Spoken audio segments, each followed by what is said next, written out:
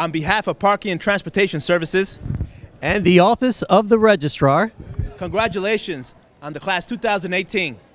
Go Jackets!